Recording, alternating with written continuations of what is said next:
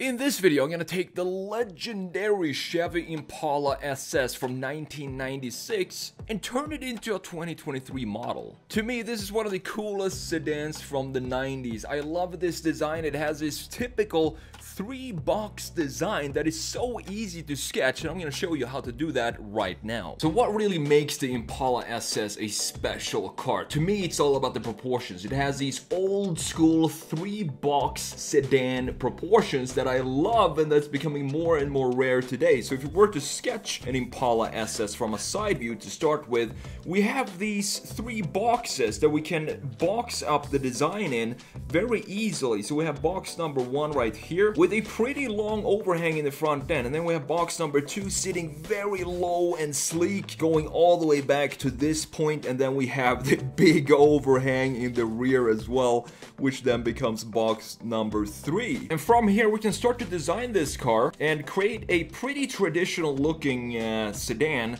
by just looking at the proportions of this car.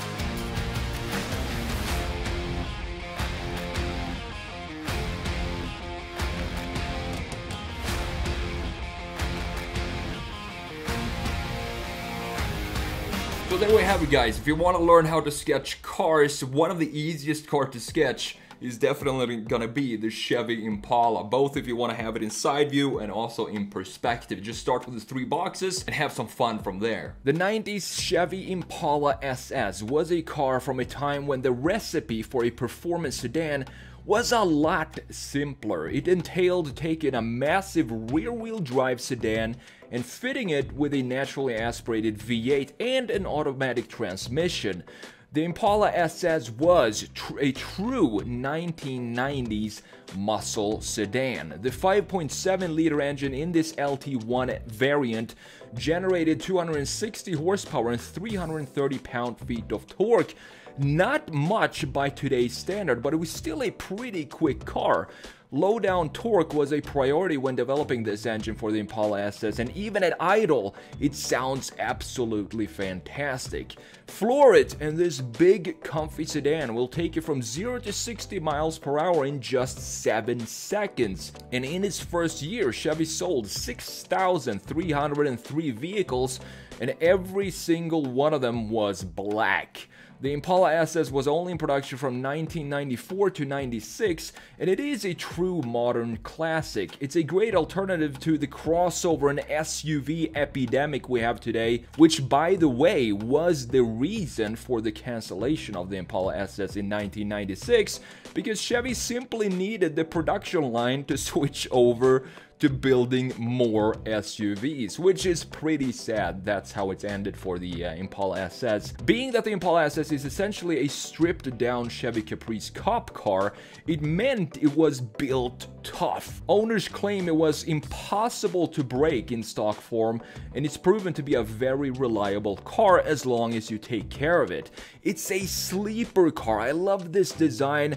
It blends in well, it's low, stealthy, and it has an appearance like a predator patrolling the streets looking for its prey. Alright, so let's have a look at this redesign and what's going on. One car uh, concept within the past year that I love for its retro design in combination with new technology is the Hyundai Ioniq uh, concepts, the N Vision concept. So I want to take I'm gonna take the 70, I think it's called the 74N concept, and I'm gonna take those taillights and apply it onto this design because I think those are simple enough to be um, in in the, you know have the correct personality for a new Chevy Impala SS. I think it would look really cool.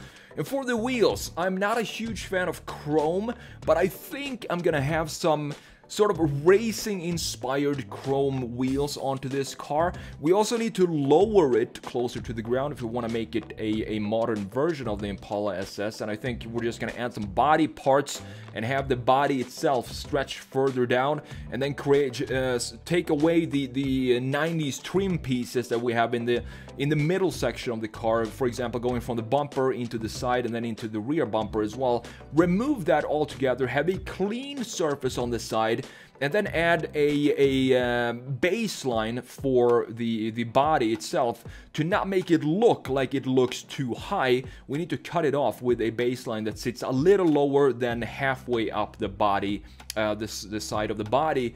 And in the rear, obviously, we need to modernize the entire rear end of this car. That means modernizing the, the diffuser and the exhaust as well. And I want to have chrome pipes. I want to have a very simple uh, symmetrical design, so two big chrome pipes in each corner of the tail end.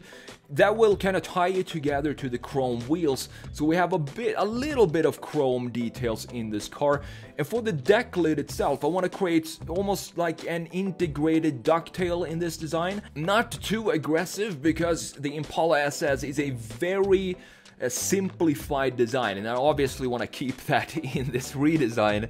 So remove all the chrome parts and the and the make the uh, the trim around the greenhouse black as well, and add this ducktail and add almost like a bar in the middle, not a light bar. We're still gonna have the LED lights with the Chevy logo in the center and no connection between the two lights, and then also create a new bumper that doesn't stick out half a meter like it did in the in the original Impala SS. That's not gonna work today. Today we have bumpers that are more integrated in the body itself and don't really stick out much. Some cars don't even have bumpers these days, which I think it's interesting, uh, but um, in this case, I want to have some sort of bumper. And also create a, a pretty strong shoulder line that, that goes from the front headlights and then stretches across the entire length into this new ducktail that we're going to be designing here uh, in this redesign.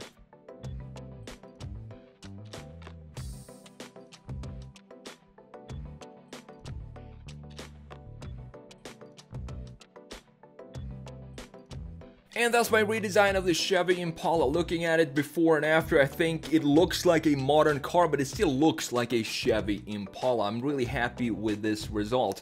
If you liked the video, make sure you hit the like button. If you want to see the front redesign of this, you can check out this video right here. Thanks for watching, and I'll see you in the next video.